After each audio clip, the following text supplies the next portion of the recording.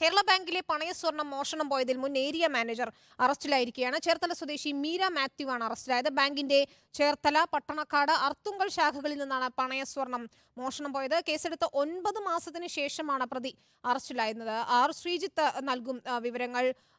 ശ്രീജിത്ത് കേരള ബാങ്കിൽ നിന്നും ഇത്തരത്തിൽ വലിയ രീതിയിൽ പണയ സ്വർണം മോഷണം പോയി. പക്ഷേ ഒൻപത് മാസത്തിന് ശേഷമാണ് ഇപ്പോൾ പ്രതി അറസ്റ്റിലായതെന്ന് മനസ്സിലാകുന്നു ഇവർ ഒളിവിലായിരുന്നു. എന്താണ് പോലീസ് നൽകുന്ന വിവരം? കേരള ബാങ്കിന്റെ ചേർത്തല അർത്തുങ്കൽ പട്ടണക്കാട് ശാഖകളിൽ നിന്നാണ് പണയ സ്വർണം മോഷണം പോയത്. മുന്നൂറ്റി മുപ്പത്തിയാറ് ഗ്രാം സ്വർണമാണ് കണ്ടെത്തിയതെന്നാണ് ഔദ്യോഗികമായിട്ടുള്ള സ്ഥിരീകരണം ഉണ്ടായിരിക്കുന്നത്. കേരള ബാങ്കിന്റെ മുൻ റീജിയണൽ മാനേജർ അതായത് ഈ പണയ സ്വർണങ്ങൾ സുരക്ഷിതമാണോ എന്ന് പരിശോധിച്ച് ഉറപ്പുവരുത്താൻ നിയുക്തിയായ ഉദ്യോഗസ്ഥയാണ് ഇപ്പോൾ ഈ ഈ മോഷണ കേസിൽ അറസ്റ്റിലായിരിക്കുന്നത്. ഈ ഓരോ ബ്രാഞ്ചുകളിലും ചെന്ന് പണയത്തിനെടുത്ത സ്വർണം രജിസ്റ്റർ നോക്കി ഇത്രയും സ്വർണം ബ്രാഞ്ചിലുണ്ടോ എന്ന കാര്യം ഉറപ്പുവരുത്താൻ പോയ ഈ ഉദ്യോഗസ്ഥ അവിടെ നിന്ന് സ്വർണം മോഷ്ടിച്ചു എന്നാണ് പോലീസ് കേസ്.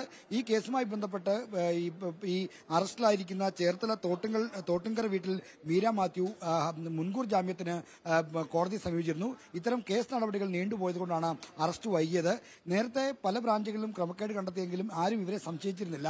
അർത്തുങ്കൽ ബ്രാഞ്ചിൽ പണയ സ്വർണത്തിന്റെ കാര്യത്തിൽ പരിശോധന നടത്തിയപ്പോഴാണ് ഉദ്യോഗസ്ഥർക്ക് ഇവരാണോ ഈ സ്വർണം എടുത്തതെന്ന് സംശയം തോന്നിയത്. ആ സംശയത്തിന്റെ അടിസ്ഥാനത്തിൽ നടത്തിയ പരിശോധനയിലാണ് സ്വർണം മോഷണം എന്ന കാര്യം വ്യക്തമായത്. അങ്ങനെയാണ് ഈ കേസ് ഉണ്ടാകുന്നത്. എന്തായാലും ഈ മുൻകൂർ ജാമ്യത്തിനും മറ്റും കോടതിയുമായി ബന്ധ- ബന്ധപ്പെട്ട നടപടികൾ നീണ്ടുപോയതുകൊണ്ടാണ് ഈ ബാങ്ക് ഉദ്യോഗസ്ഥയെ അറസ്റ്റ് ചെയ്യുന്ന നടപടി വൈകിയത്.